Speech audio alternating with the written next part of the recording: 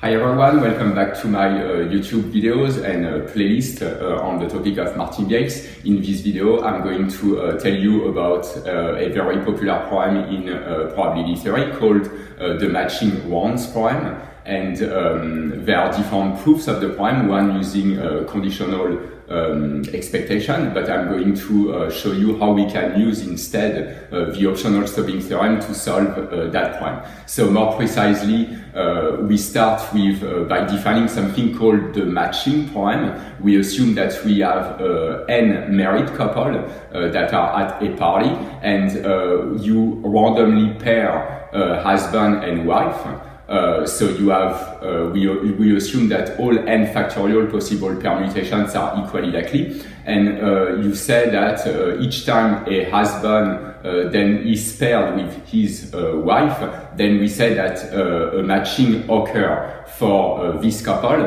And if you call, let's say, x the number of matches in this process, uh, then one, the, the main, the main question about the matching pro problem is to find the probability mass function of this random variable x. Now we go one step further. What we are going to do is that uh, we first consider that this matching problem is only a round number one in our matching rounds problem. And um, once uh, we have this uh, pairing of the couples, uh, all the couples for which there is a match leave the room and you restart uh, this matching problem a second time with the remaining couples.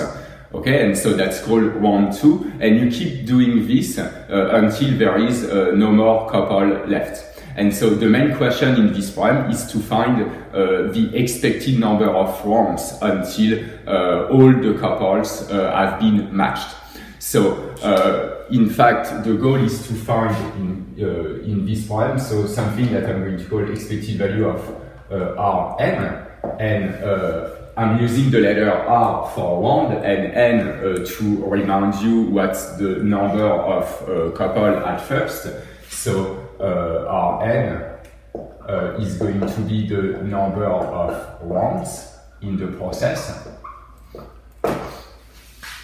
And so um, the first step here is kind of to try to guess what would be the expected value of Rn, what should be the expected value of the number of rounds. And so for that, it kind of helps to uh, try to study a little bit more just the matching point without all those rounds. Uh, so let's assume that we just have n couples that are randomly paired and we want to look at the number of matches. So if I call, let's say, x the number of matches. Of course, that's something that a priori is going to depend on n.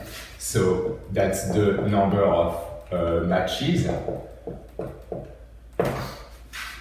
Then, uh, how can we find, in fact, the expected value of x? I'm not going to look at the probability mass function of x. I'm just going to look at the expected value of x to see uh, how many couples are, are going to be paired in average at each round. And um, so to, to study this expected value, so if you think of the problem, it looks like this. Uh, you have the husband on one side, the wives on the other side. Uh, so let's put H here and uh, the wives here. So let's say that's husband one, two, three, four, five. Uh, same on the other side. And then uh, what we are doing by doing this uh, random pairing, it's just drawing edges from left to right, but in such a way that we have a permutation. So maybe that we look like this and something like that. Um, and then you can go maybe here and here. And so in this case, will see we have a pairing and you see that there are two matches in this case. Uh, what's kind of complicated is that um, uh, if an edge goes already to, uh, like for instance, this 2 goes to the 2 here, so that means that this 3 cannot go to the 2 anymore. So those edges are not uh, independent, and so the problem is made a little bit complicated by that. So we cannot uh, just think of x as just something like a um, uh, we cannot just think of x as uh, the binomial random variable. It's something more complicated than this. It's a sum of uh, non-independent random variable. So uh, but here you can still use the fact that the expected value is linear to find uh, the expected value of x. And so uh, to do this, I'm going to call uh, xi uh, this random variable that will keep track of whether husband and wife of couple I have been paired or not. And so I'm going to write that this is the indicator function of the event that, let's say, husband I, hi, and uh, wife I uh, are paired.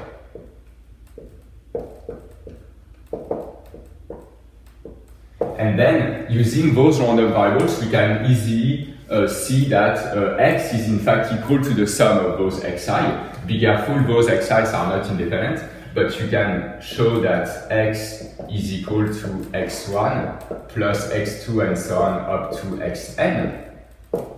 Okay? And then you can use the fact that uh, the expected value is linear to say that the expected value of x is just the sum of those ex the expected values of uh, those uh, Bernoulli random variables. So indeed, you see that here those random variables are equal to 0 or 1, depending on whether there is a match for each of the couple or not. So indeed, you add 1 each time there is a match, so eventually you count indeed the number of matches. Uh, so using the fact that the expected value is linear, you get that the expected value of x uh, is equal to the sum uh, expected value of x1 uh, up to expected value of xn. Now you see that because there is symmetry, even if those random variables are not independent, uh, they, they, by symmetry, they should all have the same expected value.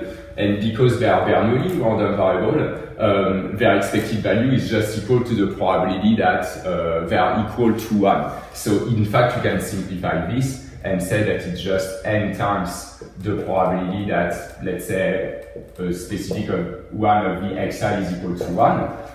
But again, by using the fact that all n factorial possible permutations are equally likely, uh, you deduce that the probability that uh, there is a match for couple uh, i is just equal to 1 over n. And so you end up with something very simple, in fact, it's just n uh, times 1 over n, and that gives you a 1. And so we conclude that uh, no matter uh, what's the no matter the number of couples, not only at round one but at any of the rounds, uh, it seems that the expected number of matches we are going to have at each step is one.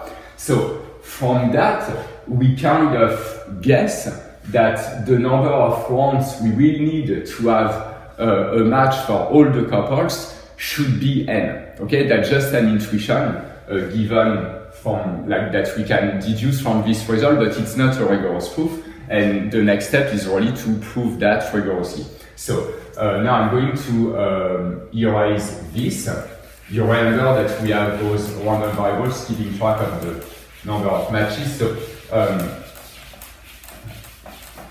so remember that Rn is the number of ones and it seems that uh, expected value of Rn should be equal to n. I'm still going to put a question mark because we don't know that yet, but that's, let's say, our conjecture. And uh, I'm going to now introduce new random variables. So uh, I'm going to call, uh, so now the next step is kind of to try to define a martingale uh, that would just um, model this process and hopefully uh, if we indeed have a martingale with all the good properties, we can uh, apply the optional stopping theorem and deduce the result. So um, for that, I'm going to define, let's say, uh, yi is going to be the number of uh, matches uh, at round uh, i. and uh, so of course those random variables are defined for all i less or equal to rn. After rn there is nothing else to do. So we define that uh, let's say for all i less or equal to rn. Okay? And um, and then we know from our previous calculation that uh, it, no matter how many couples are still in the game uh, at round i, uh, expected value of yi should be equal to 1. Okay, and so based on that, I'm going to define a new process. So uh, let me call this one now uh, mn. So m like martingale because in, in fact that's going to be our martingale. So uh, this one is going to be uh, equal to uh, you, you just keep track of the number of matches at round 1 plus the number of matches at round 2 and so on. So we, uh, we basically keep track of the number of matches up to round n. Uh, and so let's start doing this. So we are going to have a y1 plus y2 and so on up to yn. But then clearly here we, we, we, don't have um, we don't have a martingale defining this process because uh, well at least the condition we need to have a martingale is the expected value should be constant. Uh, here you see that the expected value of uh, m0 is going to be zero. There is no match uh, because the game didn't start yet. Uh, but here you have matches appearing, so it seems that the expected value of this random variable is n. So to kind of compensate and hopefully get a martingale, that makes sense to uh, subtract here with uh, n, uh, and hopefully this process is a martingale. So uh, again, this is defined only for all n for all n less or equal to Rn okay? Because those random variables yi are not defined after, okay? Because the game stops.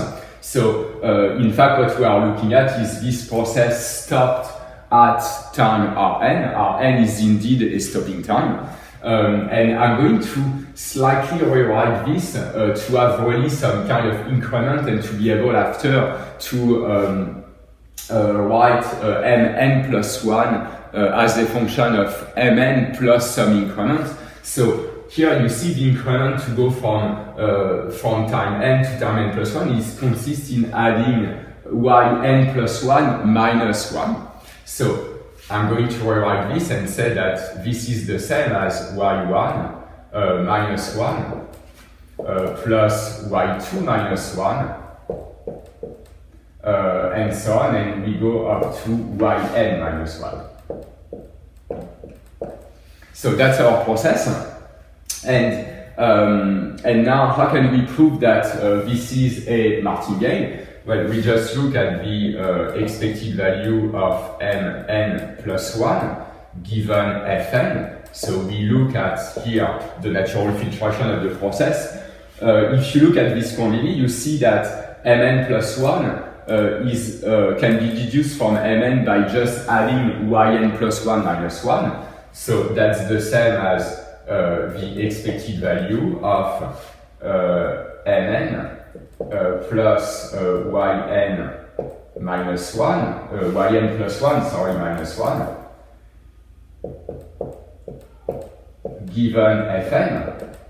And now again, uh, why do I use this decomposition? It's the same story as in the other video. It's to um, to use this nice property of the conditional expectation that says that uh, expect, the conditional expectation of mn given fn is just equal to mn because mn is fn measurable by definition of uh, the natural filtration. Uh, then at the opposite, yn, uh, the number of matches at the next round um, is unknown uh, at time n, so that's going to be independent of this uh, sigma algebra. And, and so I can uh, decompose that easily and say that this should be equal to mn uh, plus just expected value of uh, yn plus 1 Again, the fact that it's mn here follows from the fact that mn is fn measurable. The fact that we only, that our best guess is just the expected value of yn plus 1 here follows from the fact that yn plus 1 is independent of